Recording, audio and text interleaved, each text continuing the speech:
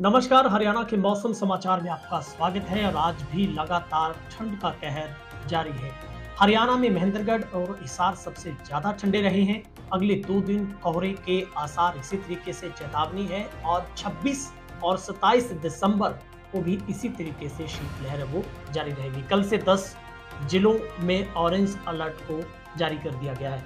हरियाणा में अगले दो दिनों तक लोगों को ठंड का प्रकोप और झेलना पड़ेगा। प्रदेश में 26 और सताईस दिसंबर को शीतलहर चलेगी और पाला भी पड़ेगा। साथ ही अगले दो दिन घने कोहरे की चेतावनी दी गई है। मौसम विभाग ने प्रदेश के 10 जिलों में 26 दिसंबर को ऑरेंज अलर्ट जारी किया है।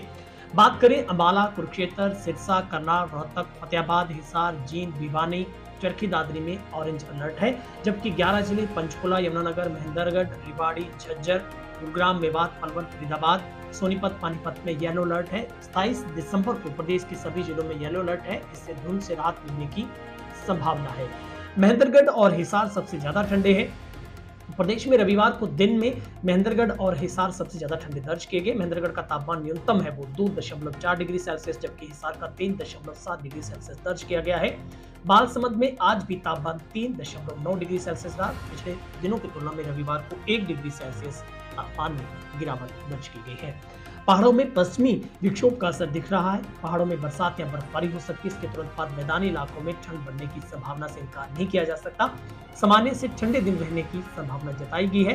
मैदानी क्षेत्रों में ठंड और कोहरा गेहूँ सरसों की फ़सल के लिए लाभदायक माना गया है। वहीं पर आपको एक और रिपोर्ट बताता हूँ। वो ये रिपोर्ट ये है कि उत्तर?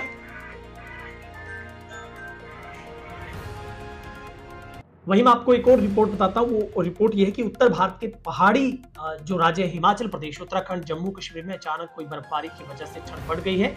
और अब मौसम विभाग ने आज से लेकर इस डेट के ऊपर, आज देर शाम तक, रात तक दिल्ली, एनसीआर, हरियाणा, राजस्थान, यूपी में शीतलहर को लेकर अलर्ट भी जारी कर दिया है। और जहाँ पर 25 और 26 आज का दिन छोड़िए और कल का पूरा दिन घने कोहरे में, चपेट में ही रहेंगे। और अगर बात करें तो हम आगे बारिश की संभावना भी बन रही है। और आज कई इलाकों में बारिश की संभावना लगातार बनी बनी हुई थी। आई आईएमडी ने यह बताया था कि 25 और 26 दिसंबर को तमिलनाडु के तेरह जिलों में भारी बारिश की संभावना है। आईएमडी के अगले 48 घंटों के अनुमान की बात करें तो चेन्नई और तमिलनाडु के तटीय जिलों में जो बारिश है, वो हो सकती है।